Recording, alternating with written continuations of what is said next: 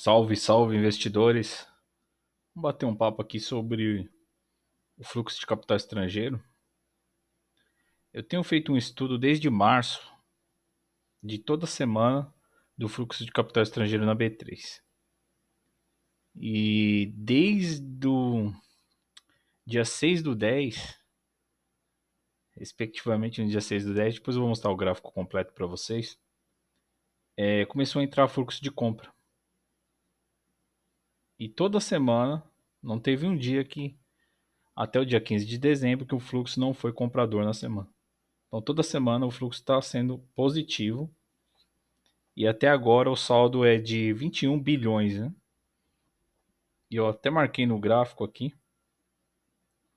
Veja o range que ele está criando nessa região, né? uma zona de preço. Nessa região aqui nós temos 21 bilhões de fluxo estrangeiro comprado na B3. Interessante, né? Vou dar uma olhada no gráfico, mostrar o gráfico para vocês. Então lógico que teve meses que o fluxo foi vendedor, mas o, o que eu havia comentado antes é de outubro, né? Mês de outubro. Então o mês terminou com 12 bi.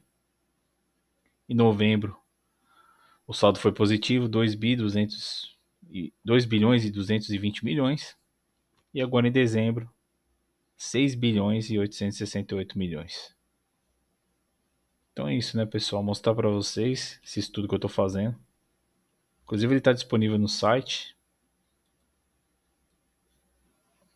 Uma abordagem mais completa sobre esse fluxo, enfim.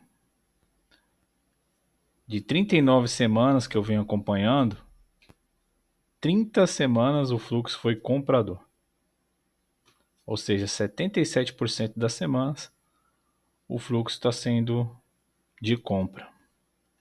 Em apenas nove semanas, eles ficaram com saldo negativo, ou seja, o fluxo virou de compra para venda. Né?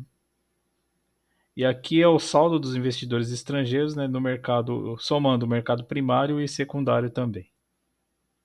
Então, o ano todo praticamente comprando no nosso mercado. Né? Impressionante. E aqui está o fluxo semanal, que eu havia comentado antes com vocês, que é de onde eu iniciei, mês de março, até dia 15 de dezembro. Lembrando que esses dados estão extraídos da B3, né? então são os dados oficiais, e eu estou deixando disponível para que todos tenham acesso, enfim, complemente o estudo de vocês.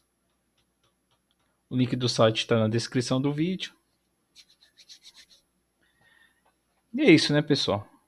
Então, enquanto os investidores estão assustados com as quedas, enfim, as ações, muitas ações estão praticamente de graça, né?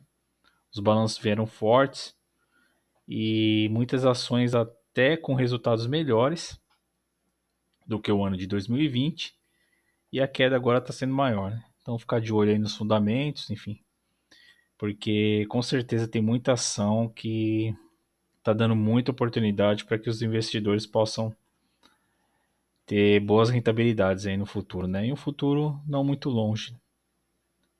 Então é isso, né, pessoal? Eu termino o vídeo por aqui.